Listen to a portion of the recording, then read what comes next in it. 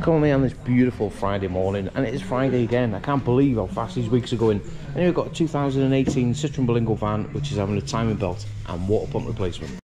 First things first, we're going to take the driver's side front wheel off and remove all the inner wheel arching so we can gain access to the crank pulley. Now get yourself a jack and a block of wood and put it underneath the sump because we need, we need to remove this engine mount here. Now that we've got the mount out, make sure that you put your bolts back in the holes and then that way you're not losing them.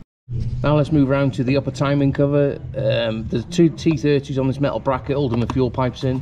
Make sure everything's unclipped and then we can make a start taking all the sevens out. Now that we've got the upper timing cover off, we need to remove this lower engine mount now with 416s. If you jack the engine up high enough, it'll just come out nice and easy. Now that I've got the engine mount out of the way, look at that there. Got a tooth missing off the belt. Now, I drove this vehicle on the ramp yesterday and it was perfect definition of a very, very, very lucky customer. Anyway, let's get a 15 mil now on the tensioner and get yourself a little uh, bar just to lock it.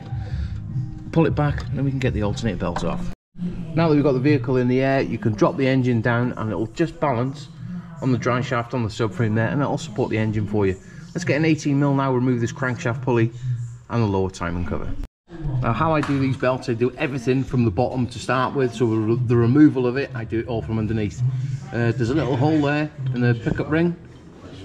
Put your tool through and that'll lock straight into the oil pump housing.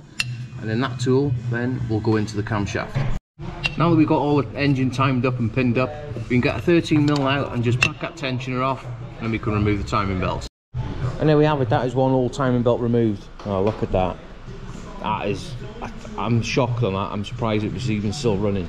Anyway, now that we've got that removed, we can jump now and remove the water pump, and do all the 8 mils and get that off. Now get yourself your lovely little receptacle and a little pry bar, and that sh you should be able to, just at the corner there, prise it open, and let all the coolant drain into your receptacle. And there you have it, that is one water pump removed. Now, I've done hundreds of these and I've never seen this. That little plastic piece in there. I thought, what the hell's that? Now, this van, I don't know how it's even running or how it hasn't been overheating. The impellers broke up on the water pump. I've never seen that happen. I've, I've seen them sheared off. I've never seen them actually break in half. Anyway, let's get a brand new one on. Now before we put the new water pump back on, uh, we're going to clean the surface down and what I use is a little bit of 3M Scotch pad um, when you're fitting the gaskets, you do not need to put any sealant on them. Like it says on the sticker, do not use sealant. Anyway, let's get it back on. Now we've got the water pump fitted, which is eight newton, uh, nine newton meters on the water pump. It doesn't sound a lot, but it's more than enough.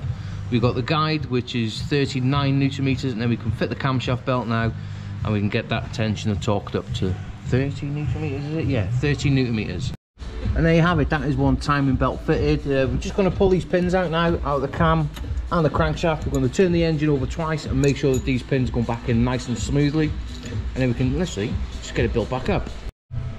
Now we've got it all put back together, we're going to refill the coolant system with some nice, fresh antifreeze. Now that we've finished uh, topping the coolant up, we're going to get in the car now and give it a big start. Really. Oh, have to breathe in.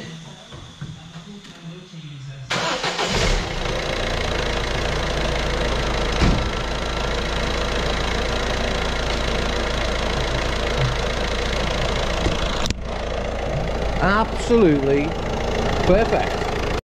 And there you have it, that is one timing belt and water pump replacement on a little Citroen Berlingo van.